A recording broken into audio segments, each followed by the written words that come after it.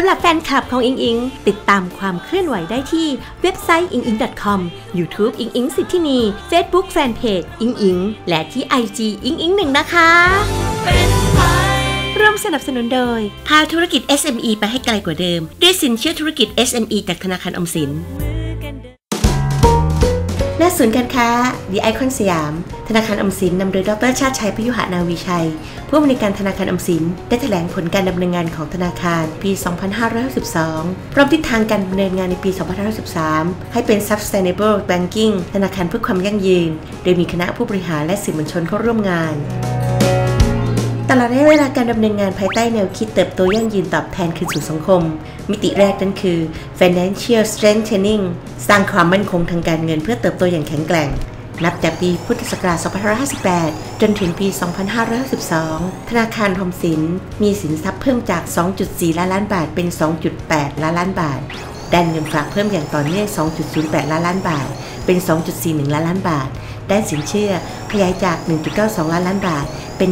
2.15 ล้านล้านบาท ขณะที่นี้ไม่ก่อให้เกิดรายได้หรือ NPL เพิ่มจาก 1.61 เป็น 2.72แต่ธนาคารออมสินสามารถควบคุมได้ดี ตามการขยายตัวของสินเชื่อ ด้วยการบริหารคุณภาพสินเชื่ออย่างมีประสิทธิภาพ ส่งผลให้มีระดับ NPL ต่ำเมื่อเทียบกับ 5 ธนาคารพาณิชย์ขนาดใหญ่ และมีกำไรสุทธิเพิ่มจาก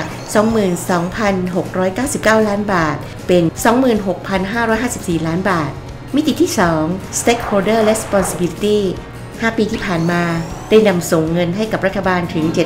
78,883 ล้านบาท ซึ่งยังเป็นองค์กรหลักที่ขับเคลื่อนการดำเนินงานของรัฐบาล หลากหลายโครงการที่ประสบความสำเร็จ การยกระดับฐานรากเศรษฐกิจ สนับสนุนผู้ประกอบการ SME และสตาร์ทอัพให้มีการขยายตัวถึง 20%จากปี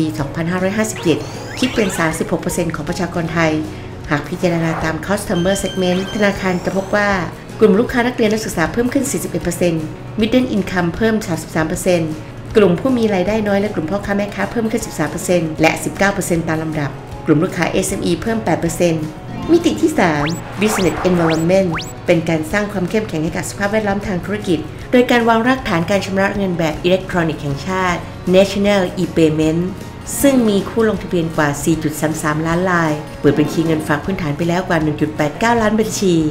มิติที่ 4 Corporate Governance การดำเนินธุรกิจอย่างมีธรรมาภิบาล โดยอาศัยหลักสามประการคือ Line of Defense IT Governance และ Data Governance ทำให้ธนาคารอมสิน ได้รับรางวัลคุณธรรมและความโปร่งใสของภาครัฐ รวมไปถึงได้รับความเลือกเฉลี่ยลำดับที่ 4 ของรัฐวิสาหกิจลำดับที่ 12 ขององค์กรต่างๆ จากทั่วประเทศกว่า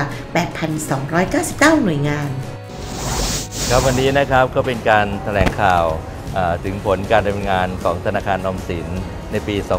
2562 แล้วก็มีการแถลงถึงเป้าหมายในปี 2563 นะครับ ซึ่งธนาคารออมสินก็คงจะมีการเติบโตอย่างต่อเนื่องนะครับ แล้วก็จะมีการที่จะดูแลประชาชนในเรื่องของ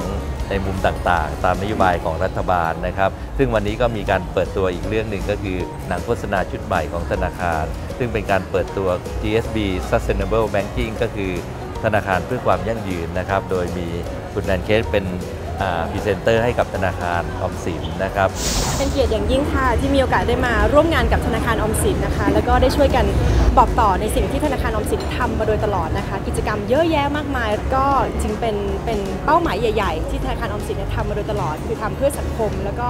ให้โดยที่ไม่หวังผลตอบแทนนะคะ ก็ดีใจที่มีโอกาสได้มาร่วม บอกต่อเรื่องราวที่ที่เป็นประโยชน์เพื่อส่วนรวมในตรงนี้ค่ะธนาคารออมสินได้เติบโตอย่างแข็งแกร่งยั่งยืนในทุกมิติ เตรียมพร้อมแผนปี 2513 ขับเคลื่อน GSB Sustainable Banking ธนาคารเพื่อความยั่งยืน ภายใต้กลไก 3 Banking ซึ่งได้แก่ Traditional Banking Social Development Banking Digital Banking ผลักดันเป็นธนาคารที่เติบโตอย่างยั่งยืน ดูแลคนไทยและสังคมให้มีคุณภาพชีวิตที่ดี และในปี 2513 นี้ ธนาคารออมสินตั้งเป้าหมาย ที่จะมีทรัพย์สินเพิ่มขึ้น 2.9 ล้านล้านบาทหรือ 3.5%พร้อมให้การสนับสนุนการเติบโตทางเศรษฐกิจ ด้วยการให้กู้เพิ่มขึ้น 550,000 ล้านบาท เพิ่มขึ้นสุทธิกว่า 80,000 ล้านบาท หรือเพิ่มขึ้น 4-5%เงินฝากเพิ่มสุทธิกว่า